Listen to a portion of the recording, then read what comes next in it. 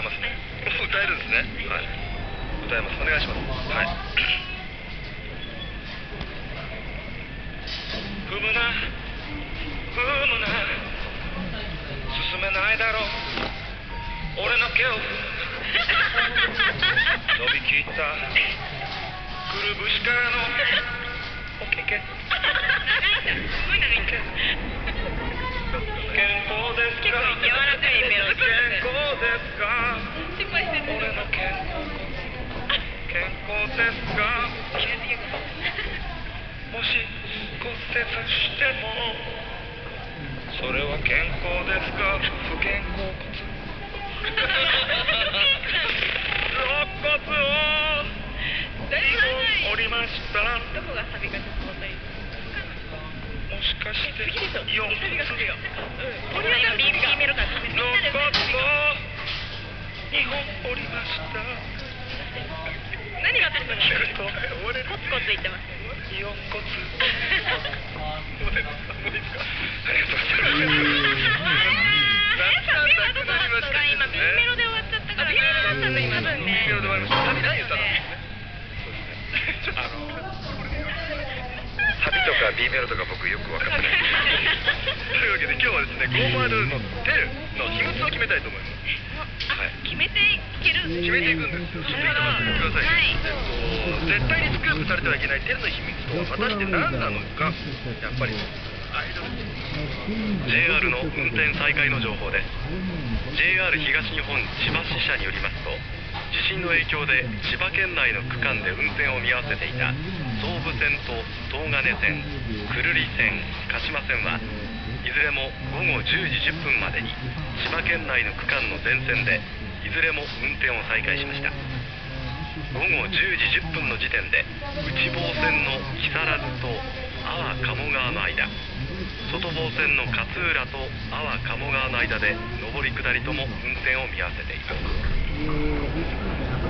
著作権にうるさい人だけは言ってます。言ってないあホームページに出れないって話ですか？それしょうがないなガチで昔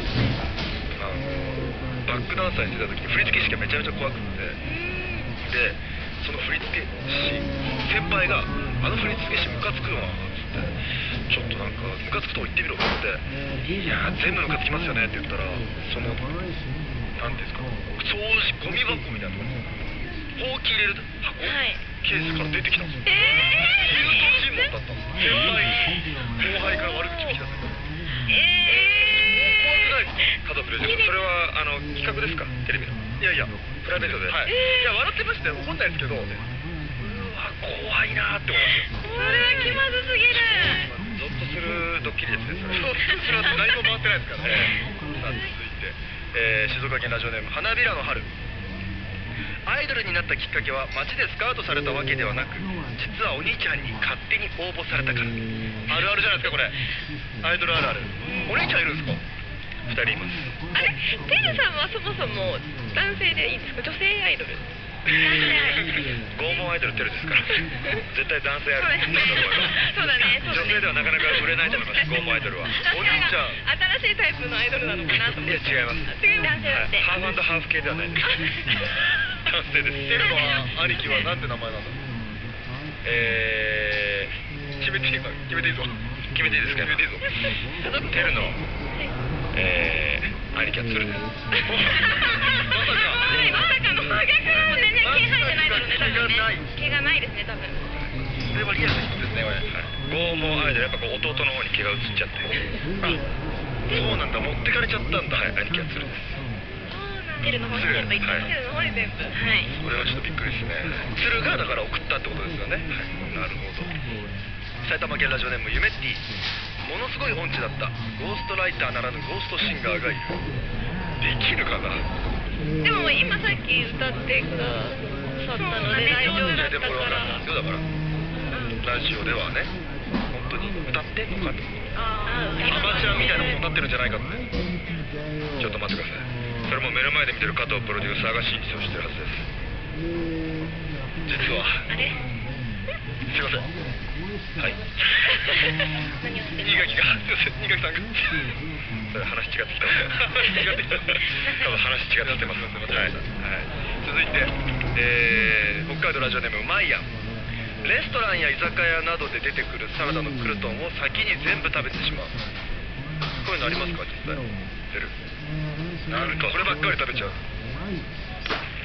えーチャーハンのグリーンピース全部取るキムチの盛り合わせでは結構白菜ばっかり食べちゃう。あの角的なものマジであるあるあるあるだな。追いキムチのヘラだったな。はい。あの角的とかダメ角的な、はい。全部キムチだけでいいな。はい。さあそろそろ決めていくか。ありましたよやっぱり鶴だろう。うん。うん鶴ちゃんは鶴が気になる。うん。というわけで先ほどちょっとメッセージありますが鶴のお兄ちゃんの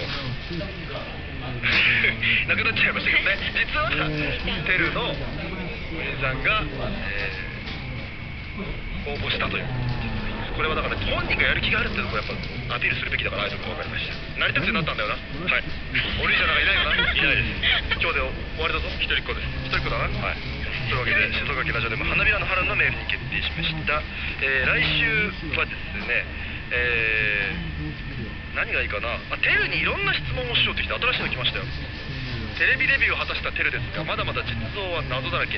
テルの出身地はどこ？テルってアイドルの卵だけど今は学生？それともバイトをしているのもしかして社会人？など聞きたいことは夜あるはず。テルにどんどん質問してくださいというわけでこの質問の狙いはいろんな質問をさみだれ式にぶつけることでテルの実像をリスナーに具体的に想像させたいということです。だそうです。というわけでこれでいきましょう。テルにいろんな質問をしよう、えーメール待っております。どんどん送ってください。さ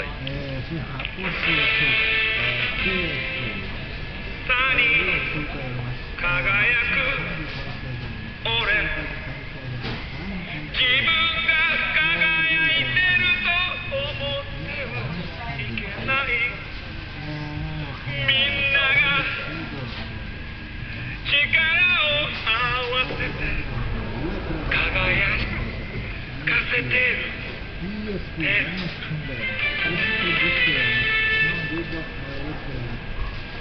というね歌を先週歌ってましたけれどもね強い覚えてる。いや逆にすごいですよその場でスッと出てくるの。来週も覚えてないと思うよ今日歌った。今日じゃない。肩甲骨が、はい。健康じゃない話、はい。忘れちゃいますか、はい。さあここからはですね、えーこんなロックバンドありえねえ。聞いていきたいと思います。さあメール来てますよ。青森県の清江ボーカルが全然歌詞を覚えていない。困ったらその場しのぎでマイクを客席に向けるからコールレスポンスがとにかく長いこれガチャピクってあります。ボーカルが歌詞を忘れる。ってえりとオレオレオナが普通の客席で歌ってるお客さんの口元を見てるのは見たことあります。はい。それでいける？意外にいけるんですよ。本当に？次何行くかなと思って、だからあなのかいなのかとかその前段階の準備をすごい見て、それスパイがやるやつ相手の技術じゃん相手の口元見て何してるか結構いけますよ。使ってみてください今度。覚えろ。覚えてな使ってみようファンの人の口元を読むっていうね。いいですよ。歌詞を覚えましょうよ花さんはないですか歌詞飛んじゃうことまあほとんどない。ルナちゃんはもうめっちゃ完璧でもあの真っ白になる時あるんですけど、出てくるのを願って頑張る。スティック飛ばしたことあるあスティックは飛ばしますね。普通に。すぐもう買えるやつがあるんですそうですね。あります。あないですか？ハプニングあ一回衣装で結構袖が長い服を着てて、はいそのまま穴が開いてるシンバルっていうのを使ってるんですけどそのまま叩いたら洋服とスティックが全部シンバルに絡まっちゃって、まあ片手あれば叩けるわと思って叩いてってそのうち取れるかなって思ってもう一回叩いたら両手もう叩けないからスタッフってこう袖に誰かっていう感じでなったことありますいろいろあるね衣装があるだと大変ですねさあ続いてえこん。なロックバンドありね大阪府ラジオネーム東西南北ギターの弦が腕毛あれヒッピー言うん。ですねでもすごい伸ばさないとそれかつないでいくか結ん。でいけばね結ん。でいく